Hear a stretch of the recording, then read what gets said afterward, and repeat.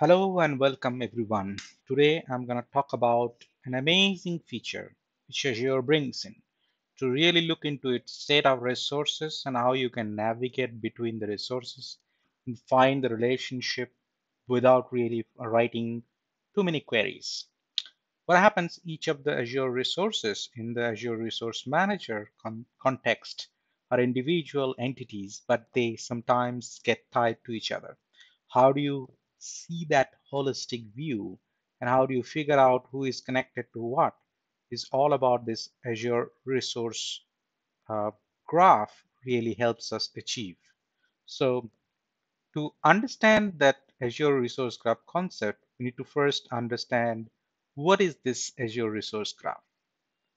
So as the word graph mentioned here, it is definitely identifying the relationship between each of the entities, right?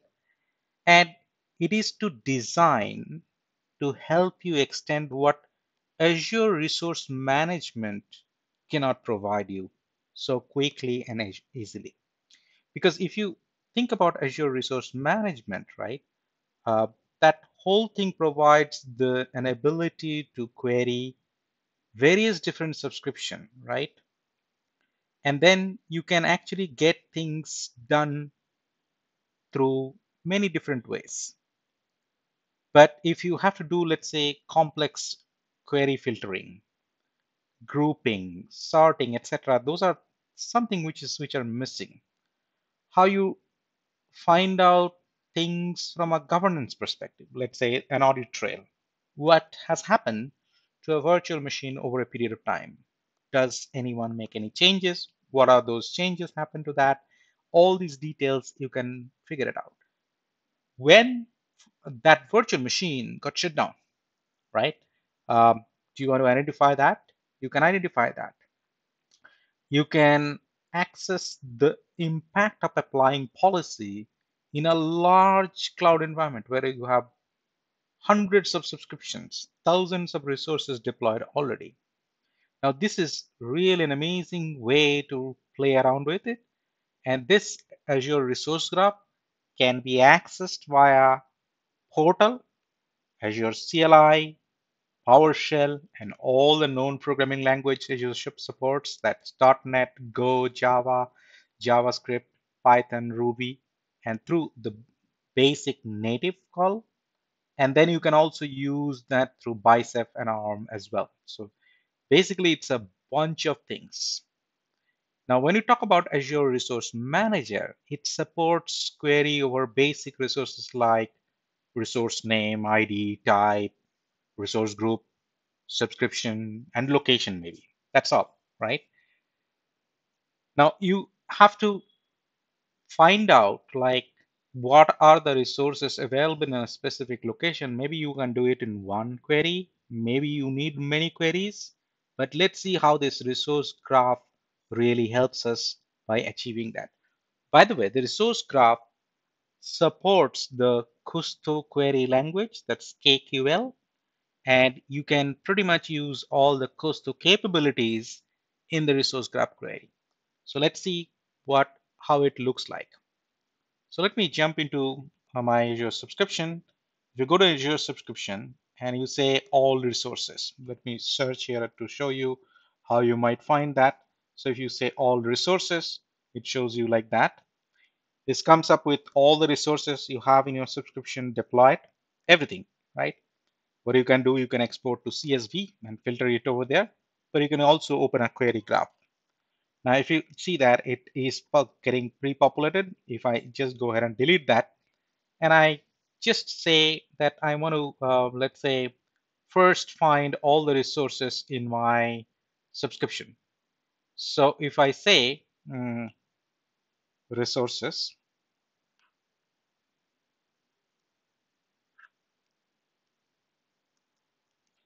and just run the query. It's going to give me all the things which you have seen in the dashboard, right? That's, that's what. So this is one of the tables which resource graph uses. And when you use Kusto query, you can pretty much filter things based on the criteria you provide. So you can say that where type equals to. And when you say equals to, you must use this, which is a case insensitive. And then you start with this. And one of the things I want to find out is the virtual machines. So if you say compute,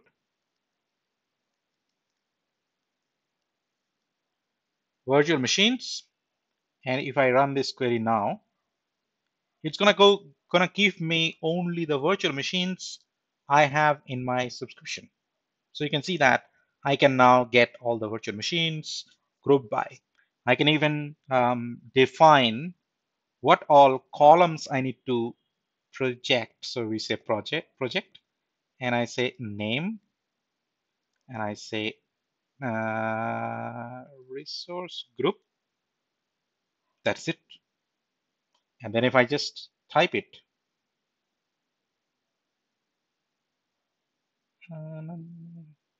if I just simply go ahead and remove this. And I put it after this. Makes more logical sense. Run this it's gonna go ahead and give me the the virtual machine name and the resource group. And if you click on the see details it will show you the record. You can say next next. So when it is big let's say you have many fields you may not be able to view it properly. So in that that case you might need that kind of view.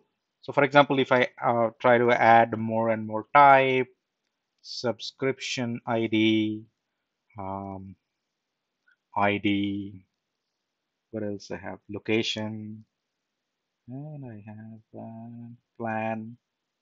Let's see what it gives. It should give me all the bunch of things. I can click on this see details. Uh, gives me this a nice view which is easy to read and I can just navigate through this. And I will get to see all the virtual machines which are basically uh, created in my subscription. They're four in number. But if you have more it'll show you those more many number of virtual machines so that's what the resource graph query is able to provide you the information. So you have got many different ways to play around with the resource graph. For example, um, you have got certain things like um, what all resource types I have created in this subscription, let's say. So if I just remove this and I say project and I say type and it gives you statement um, completion IntelliSense also. And then if I just run them, you will find all the types, but it's sort of like repeating, right? Um, this is same type. It's basically the alert rule. Um, you can see that it's coming thrice. Now let me use a little Kusto filter to define distinct type. Okay, and run the query. And I can see that these types are kind of available. You can sort them, you can filter them, you can do all sort of things. So I have got uh, around 40 types of resources created in my subscription. So they're all um, created in my Azure subscription today. All the 40 types of resources are being used somewhat or other. I have created our, or it got created automatically through a management. Now, there is one interesting uh, thing about the resource graph, but um, really, if you want to go deeper into that, there are different tables available. So, for example, you have seen the resources, and there is a resource containers. And if you just run this resource container query, you will find that resource container is coming. It is basically the management group, subscription, and all these things. Uh, there are advisor resources, um, health resources, um, so available uh, resource health sort of thing. So if you just say the resources, that's one of the good things is that you get the statement completion. So you can see that it's it's kind of like um, telling me something. I have not noticed it. Uh, so let me go back.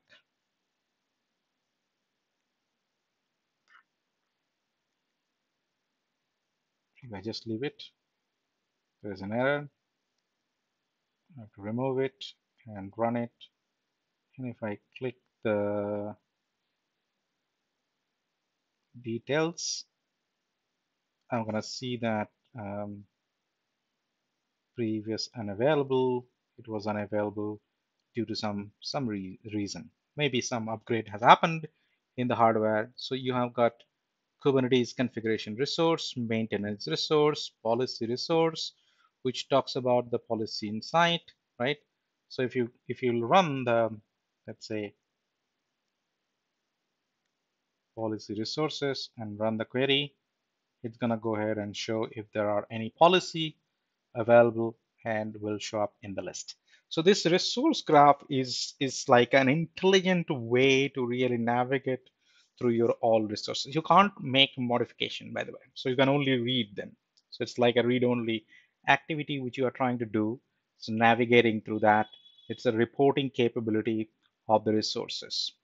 You can do a join, right? You can define a limit of how many records. For example, it shows around 3,790 records. I am not interested in that.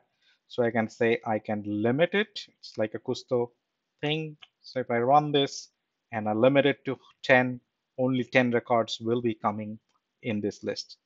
So it's kind of like a, like a, so you can see that there's a 10 records only showing up. So it's only a few records coming up over here. So you can choose the four uh, columns you want to display. You want to also check whether there is a value null. You want to do a distinct you can do an order by. So that's also possible. So if you can say that I want to order by type, uh, ascending, you can do that. You can um, you can define a filter based on like whether a VM is started or stopped.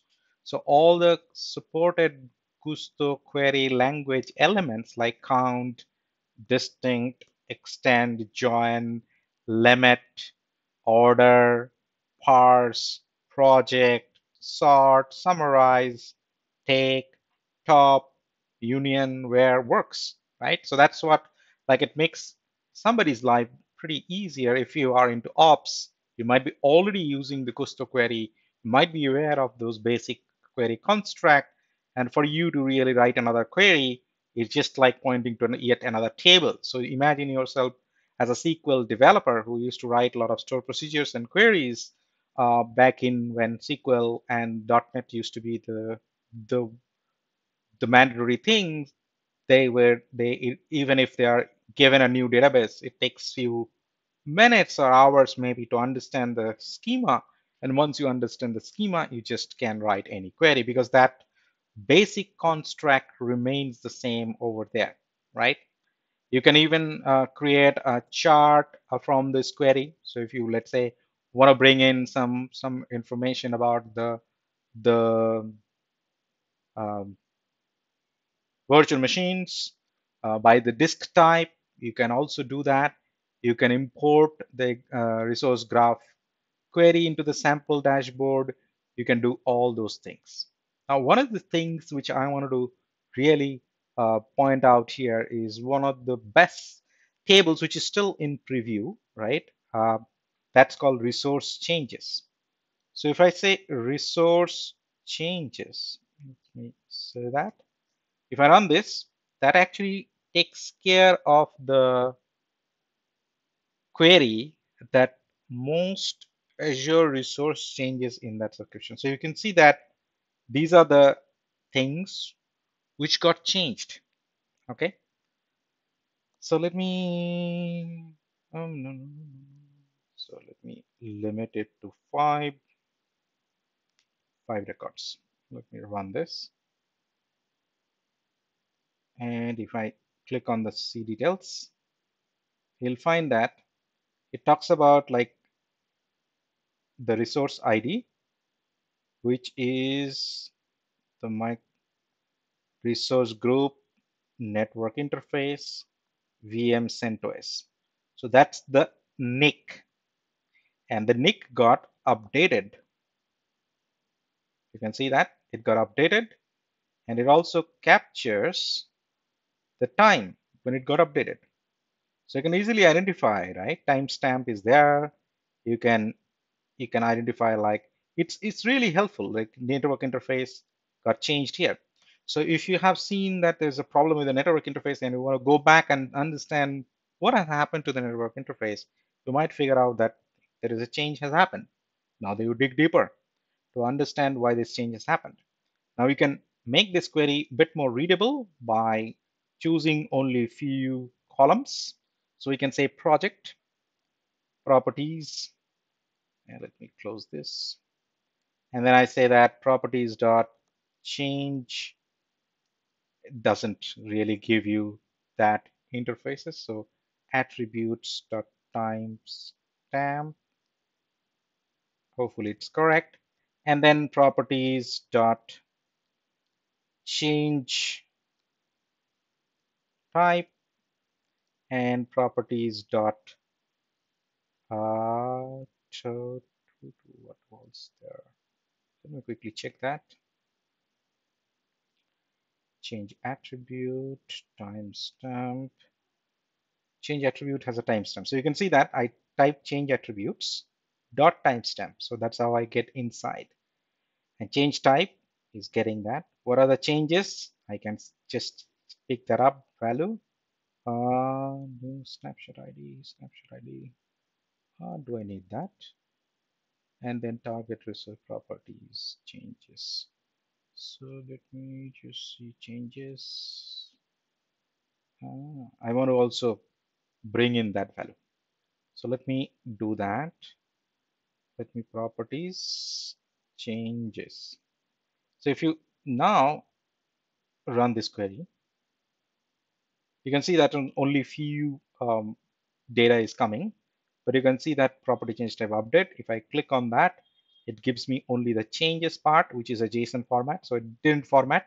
So I can even split that into multiple columns by uh, changes dot property dot IP configuration, blah, blah, blah. So it's basically like going a bit deeper into that things instead of that I just picked up the whole bunch to let you know that this has changed over a period of time. There was a change by user, category by user, an update has happened. Previous value was this, new value is that. that.